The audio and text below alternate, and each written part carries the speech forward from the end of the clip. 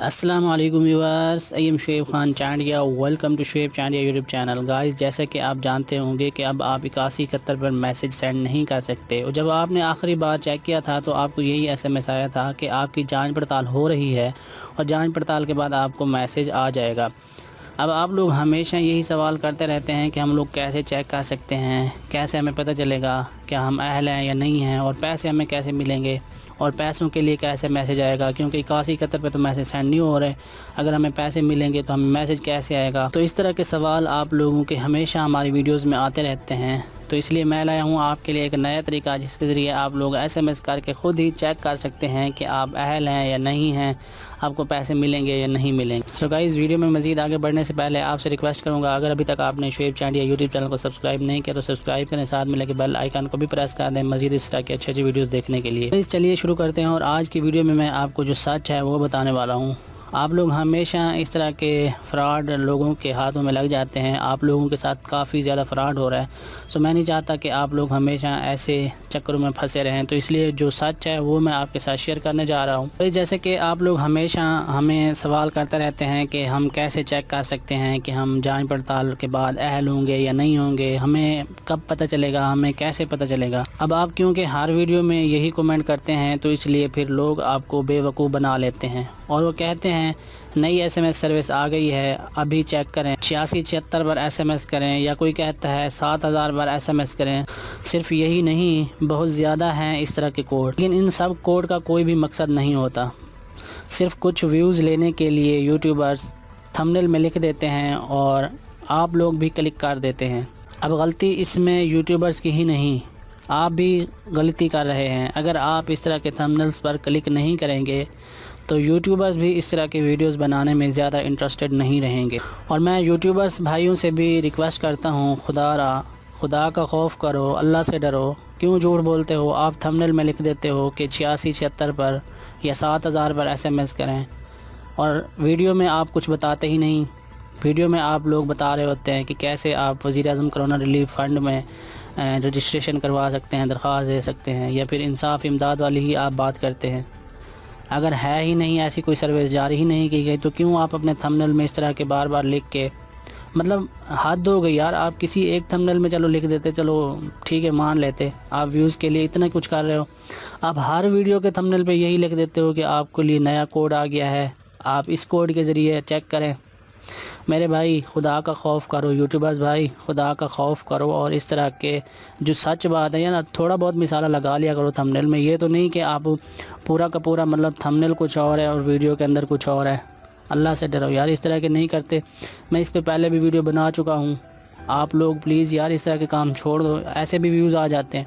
अब मैंने वीडियो बनाई कि वजी करोना लीव फंड में कैसे आप लोग रजिस्ट्रेशन करवा सकते हो। मुझे व्यूज़ नहीं आगे क्या? अगर मैं लिखता कि छियासी छिहत्तर रुपये या सात हज़ार रुपये या फ़लाँ कोड आ गया, उसके ज़रिए आप लोग दरख्वास्तें दें या जमा करवाएँ तो मुझे व्यूज़ नहीं आ जाते थे क्या? और मैंने जो सच लिखा था हमने पे क्या, मुझे व्यूज़ नहीं आ गए। आ जाते हैं मेरे भाई, इस तरह से व्यूज़ भी आ जाते हैं।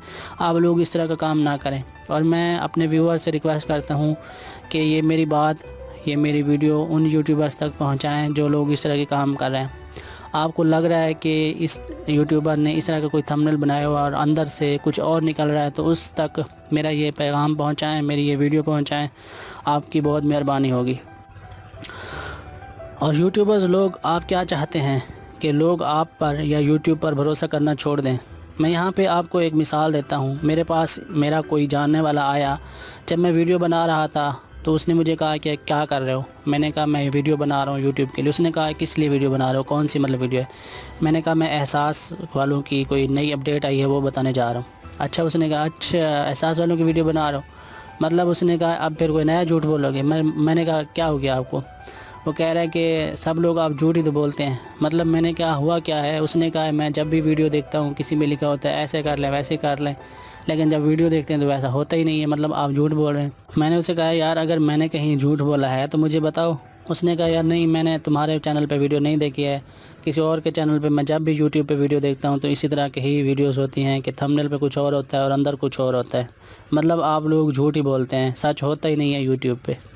अब ये हालात आ गए हम पर कि लोग हम पे भरोसा ही नहीं कर रहे यूट्यूब पे लोग भरोसा ही नहीं कर रहे और यही लोग समझते हैं कि यूट्यूब पे जो होता है, बकवास होता है।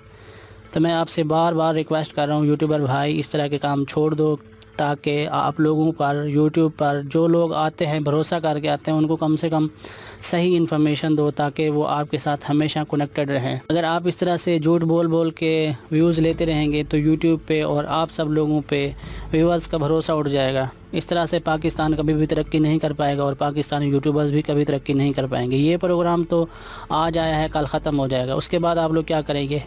अब अगर सच पे वीडियो बनाएँगे, लोगों को आप पसंद आएँगे तो लोग आपको हमेशा के लिए आपका साथ देंगे, आपकी हर वीडियो देखेंगे, आपकी हर बात मानेंगे। अगर आप ऐसे ही झूठ बोलते रहेंगे तो आपका चैनल चलो, कुछ दिन के लिए तो आप व्यूज़ और सब्सक्राइबर ले लेंगे और कुछ पैसे भी कमा लेंगे। उसके बाद क्या करेंगे आप लोग? मैं फिर से आपसे रिक्वेस्ट करता हूँ खुदारा आप ऐसे काम छोड़ दें। सो गाइज़ अब सच क्या है, मैं आपको बता देता हूँ। पिछली वीडियो में भी मैंने आपको बताया था कि सच क्या है और कैसे आपको सच का पता चल सकता है।